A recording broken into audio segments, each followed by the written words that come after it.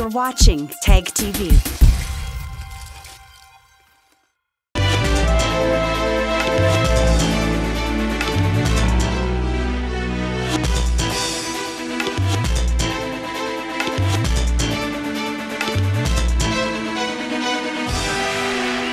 From Kashmir to Kanyakumari, India is a spellbinding mosaic of culture, tradition, languages, and an extraordinary mingling civilization. Keeping its age old culture maintained, today the country is taking huge strides in the path of development. Hello, I'm your host Uzma Jafri, and today in our episode of My India, we bring you some of the stories that will give you a glimpse of our country's diversity. Enriched with enamoring folk songs and dances, visual arts and music, Goa's culture is a beautiful harmonization of East and West and its citizens have taken the best of both the worlds. To celebrate this amazing fusion of two cultures, Goans host a number of festivals throughout the year. The Sao Joao festival that was recently celebrated in the state is one among these festivities that pay tribute to Saint John the Baptist, who was believed to have baptized Lord Jesus. Take a look. As the monsoon arrives, the entire state of Goa gets soaked in the festivities of Sanjao Carnival, one of the famous fiestas of the state. Held every year in the month of June, this Catholic festival is a part of Portuguese heritage and is celebrated in dedication to Saint John the Baptist, who, according to Christian scriptures, is said to have baptized Lord Jesus. During the festival, local folks and tourists jump into wells or man made ponds to commemorate the leap of joy which St. John is said to have taken in the womb of his mother Elizabeth when Virgin Mary visited her. People also wear kopel, a beautiful headgear made of flowers, fruits, and leaves, and scream Viva San John to mark the occasion.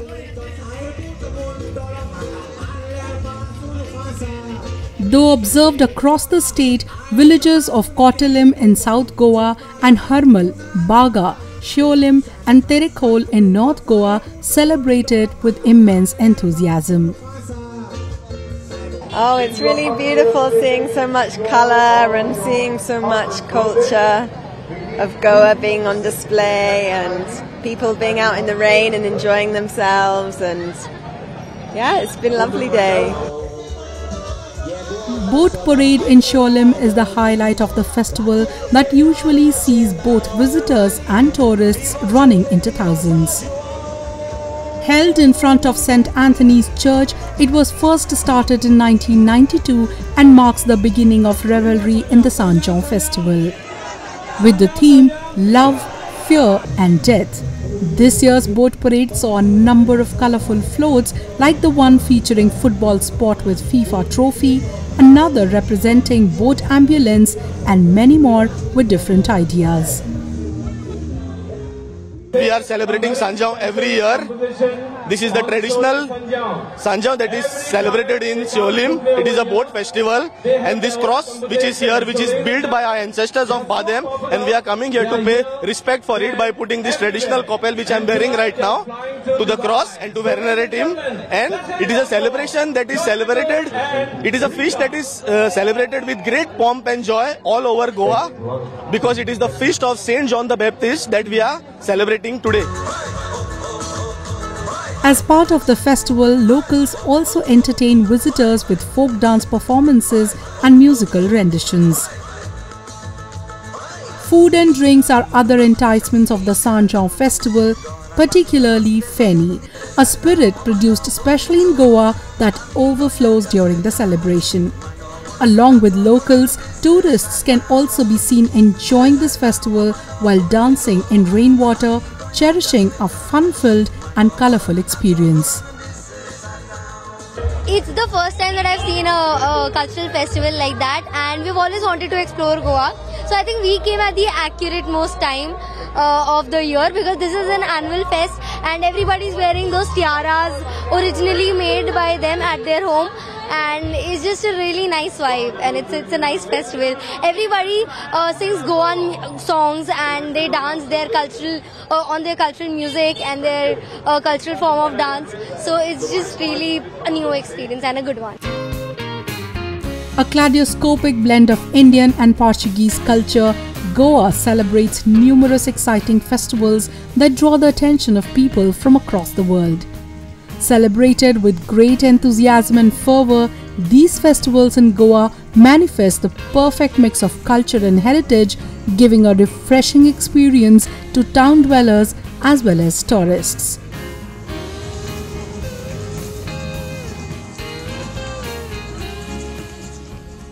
India is a country where different religious communities reside together harmoniously. A major role in bringing together people of all religious communities under one roof is done by the dargahs of Sufi saints, which give out loud the message of communal harmony.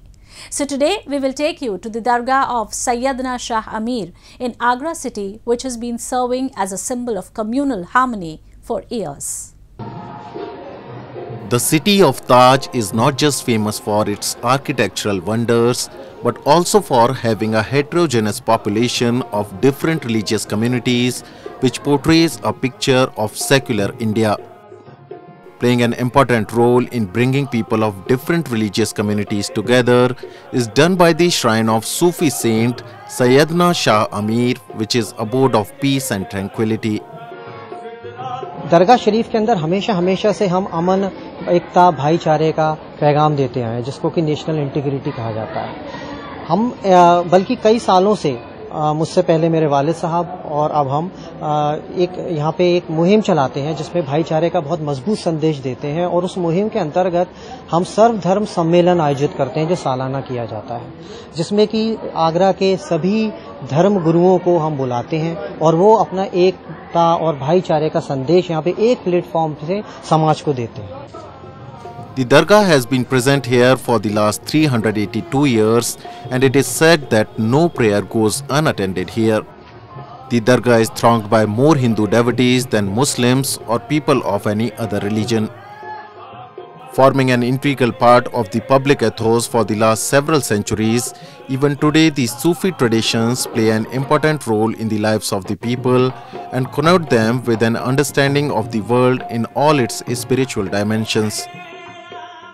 और यहाँ दरगाह पर ज़्यादातर लोग ये नहीं कि मुस्लिम ही आते हों, या हिंदू भी आते हैं। कल जुमेरात का दिन है, आप देखिएगा, बहुत मात्रा में हिंदू औरतें भी आएँगी। बहनें, ये सब लोग आते हैं और यहाँ से जो है अपनी मुरादें मांगकर उसका फैज उठाते हैं। और सूफी संतों की सुलेकुल की नगरी में जो दरगाह हैं, वहाँ हिंदू और मुसलमान नहीं होता, इंसान और इंसानियत होती है। और इसी लिहाज से ज़्यादातर लोग अपनी परेशानियों की अर्जी यहाँ लगाते हैं सरकार के दरबार में और रब्बुल आलमीन उनको पूरी करता है The message of peace and brotherhood comes out loud from these dargahs, and these sites have been acting as symbols of communal harmony for ages. And now a roundup of some of the major stories that made news recently.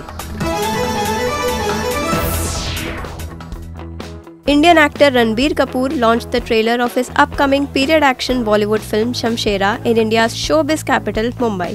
Kapoor, along with leading lady Vani Kapoor and acclaimed star and antagonist Sanjay Dutt and crew members of the film, attended the launch event. This would be the first time fans will see Ranbir Kapoor playing a double role.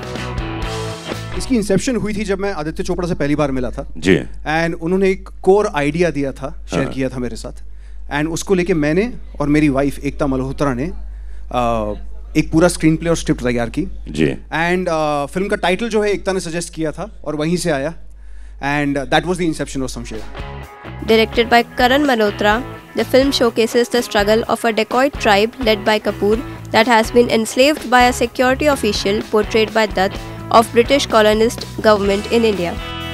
The film reportedly made on a budget of 19.2 million will hit theatres across the world on July 22.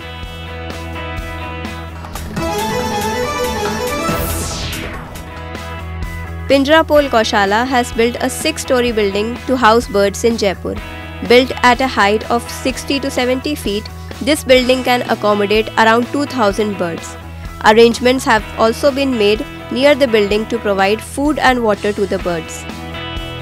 इसमें 2000 पक्षियों के रहने की व्यवस्था है सर्दी, गर्मी और बरसात में ये सारी वातानुकूलित है उनके लिए आज के परिप्रेक्ष्य में जो बड़ी बड़ी बिल्डिंग बना के आवास तो बना लेते हैं, पर प्राणी मात्र, पक्षी मात्र की या पशु मात्र की ओर ध्यान नहीं दिया जाता है The initiative is catching eyeballs on social media platforms and is being appreciated by many. And now we will take you to the 44th Urs commemoration of Lal Deen Sahib in Rajouri district of Jammu and Kashmir, which was attended by people of all religious communities. Take a look. An epicenter of faiths, a place where brotherhood and bonhomie between as many religions could be seen flourished and prospered at its best. The Dargah of Lal Deen Sahib, situated in the outskirts of the Rajouri district, is one such melange of diversities.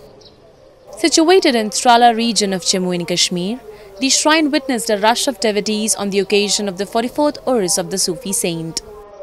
Whether one is Hindu, Muslim, Sikh or from any other community, the aroma of the shrine serenades them into cheerfulness and a belief of fulfillment ensues in them. Hindu भी आता है मुस्लिम भी आता है सिख भी आता है दूर दूर से यहाँ हर हर ज़ात के लोग यहाँ आते हैं हर मज़हब के लोग यहाँ आते हैं ये सब के लिए ये जो दरबार है ये सब के लिए खुला है यहाँ हर आदमी आ, आ सकता है और यहाँ अमन का पैगाम दिया जाता है। काफ़ी सारी ऐसी मिसालें जो यहाँ वो लोग जिन जिनको कोई भी डॉक्टर ठीक नहीं कर पाया तो यहाँ आके उन्होंने यहाँ मन्नत मानी और यहाँ जो यहाँ से लंगर खाया तो वो बिल्कुल ठीक होके गए और इन यहाँ बड़े अमन के साथ उर्स मनाया जाता है। Coming from far and wide, these devotees attended the prayers to seek the blessings of the holy saint. It is believed that the saint fulfills the wishes of all and nobody returns empty-handed from here. A community kitchen or langar was also organized on the occasion where people of all religious communities sat down together and had their meals. Sir, देखिए, ये हर सालों की तरह इस साल भी अच्छी तरह से यहाँ पे उर्स मुबारक बनाया जा रहा है। ये हज़रत जनाब किबला मियाँ लालदीन साहब का चौंतीस या पैंतीसवा सालाना उर्स की तरह आज भी बनाया जा रहा है। यहाँ पे हज़ारों की तादाद में अकीदतमंद आए हुए हैं और हर मज़हब व मिलत के लोग यहाँ पे आते हैं। इन यकीन से आते हैं, फैज़ लेके जाते हैं। हर किस्म के फैज़ हर किस्म के फैज़ यहाँ से उठाए जाते हैं। बीमार लोग आते हैं तो शफा पा के जाते हैं और किसी भी किस्म की रूहानी और जिसमानी किसी भी किसी भी किस्म की तकलीफ़ होती है तो इन जो यकीन से आता है वो फैज़ याब होकर जाता है। Since ages, the Sufi saints like Lal Deen Sahib have propagated the message of spiritualism and harmony in our country, and their teachings are still playing a significant role in strengthening the thread of secularism. Buddhist circuit in India houses temples and monasteries of high religious significances and it has evolved as tourist centers for not only the followers of Buddhism but also others. Various developmental projects have been taken by Indian government giving major infrastructure push for Buddhist circuit. India is the land of Lord Buddha, who lived for peace and spread the message of love. Before attaining parinirvana, or getting freedom from physical existence, Gautam Buddha made a long journey in the country in search of knowledge. The Buddhist tourism circuit in India mirrors in India whose global brand projects remarkable destinations associated with Buddha's journey and teachings. The most revered Buddhist sites in India are Bodh Gaya, Vaishali, and Rajgir in the eastern state of Bihar and Sarnath, Shravasti, and Kushinagar in Uttar Pradesh. The heritage is of great interest to the followers of Buddhism all over the world. And this is the primary source of motivation behind the Government of India's fresh push to enhance these destinations, which truly project brand India. The Swadesh Darshan scheme is assertively promoting tourism of Buddhist sites. The initiative focuses on improving the connectivity via air, rail, and roads. The inauguration of Kushinagar International Airport by Prime Minister Narendra Modi, was a major step towards connecting key Buddhist pilgrimage sites. Wonderful development because it will give opportunity for uh, Buddhists from the Buddhist countries to come very conveniently to the most sacred place where Lord Buddha uh, entered into parinirvana and uh, it'll make the Buddhist circuit tourism also very convenient. The sacred places, which attract thousands of Buddhist and non Buddhist tourists every year, are now also connected by a special train. Launched last year, the Buddhist Circuit Train traverses through various pilgrimage sites of Buddhism and gives a peek to places like Sarnath, Gaya, Kushinagar, and Rajgir, where Lord Buddha spent a great part of his life.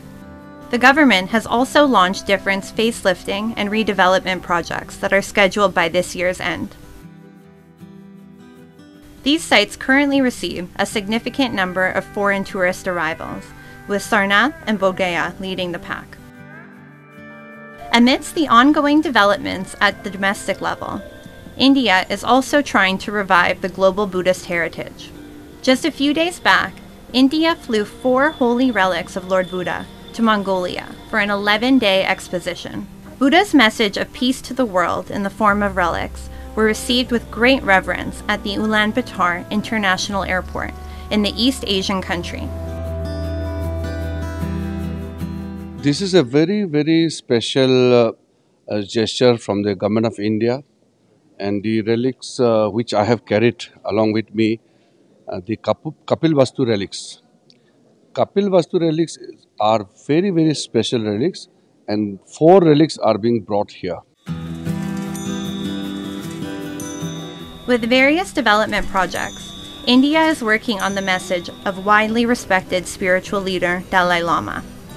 The highest monk of Tibetan Buddhism says, Share your knowledge. It is a way to achieve immortality.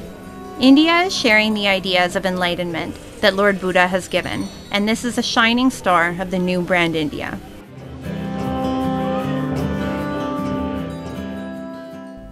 And in the end, we bring you a few short stories about the recent developments and happenings from around the world in our section of World in Focus.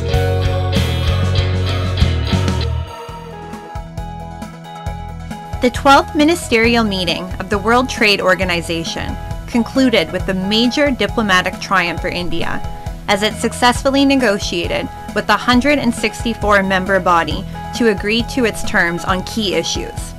After an extension of two days, the five day grueling meet came to a consensus on food security, fisheries, and a waiver of patents of vaccine manufacturing, a humanitarian push prioritized by India.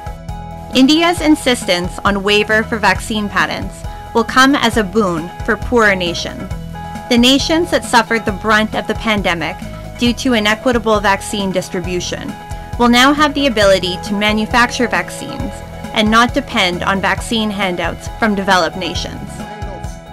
Bharat का पक्ष बहुत संवेदनशील पक्ष है भारत की बात बहुत fair है इक्विटेबल है विश्व के हित में है और मैं समझता हूं कि आज पूरे विश्व ने ये स्वीकार किया है कि विश्व में और ज्यादा लोगों को समृद्धि पहुंचनी चाहिए Apart from vaccines, India maintained a resolute stance on the regulation of ambiguous fishery laws that somehow allowed some countries to indulge in overfishing and illegal fishing in territorial waters of other countries. To the dismay of some, a stringent law will be framed to penalize the offenders.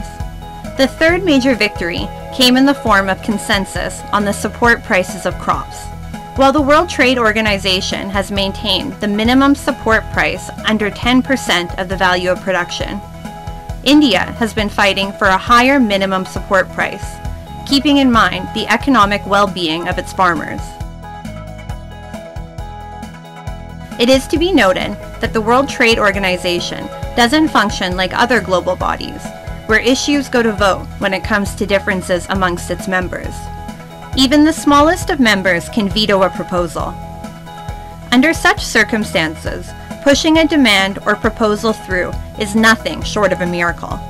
A 100% success rate by the Indian delegation is therefore an unprecedented triumph. And the credit has to be given to prudent and exemplary Indian diplomacy that is working hand in hand with the country's growing political and economic clout, steering its position from deal breaker to deal maker.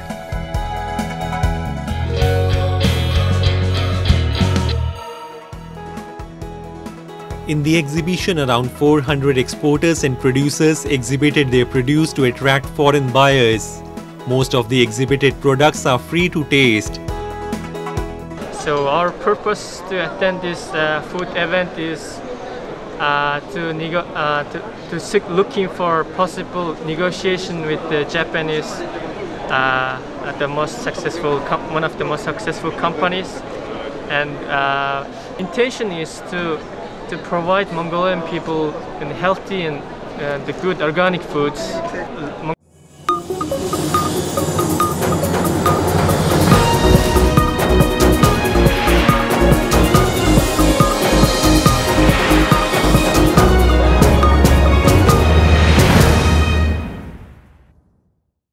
Subscribe Tag TV YouTube channel and press the notification button.